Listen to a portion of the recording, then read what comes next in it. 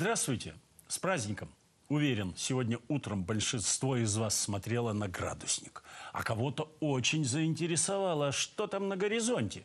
Кстати, имеющие отношение к химии или кулинарному искусству несколько раз в день обязательно столкнутся с такими словами, как кислота или вещество –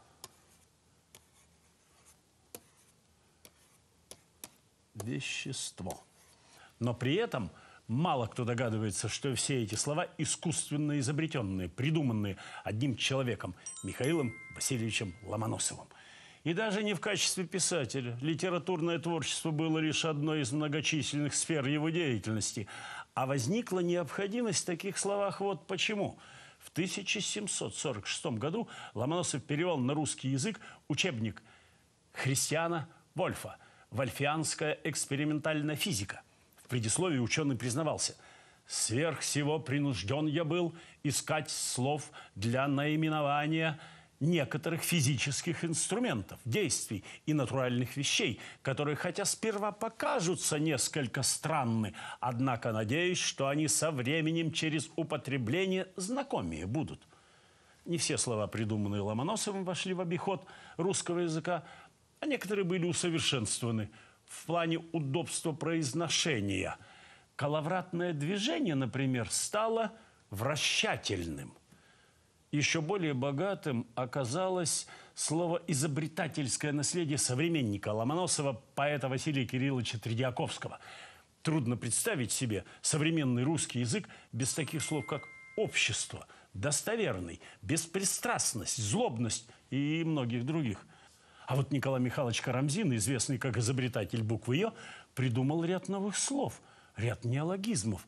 При этом его принцип был самым простым. В русском языке есть, к примеру, слово «промысел».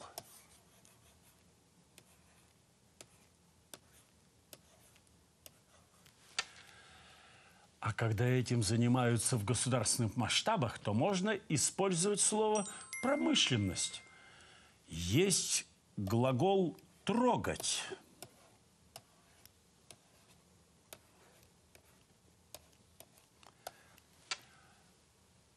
И от этого глагола Карамзин изобрел прилагательно «трогательный».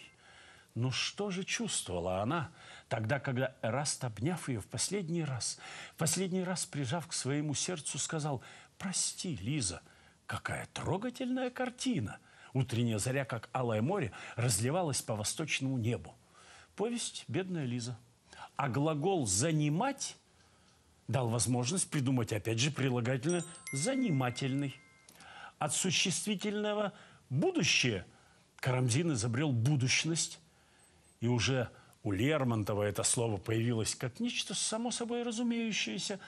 «Гляжу на будущность с боязнью» гляжу на прошлое с тоской, и как преступник перед казнью ищу кругом души родной. Если сегодня кто-то из вас или вы на кого-то произвели впечатление, то обозначение этого состояния придумал также Карамзин.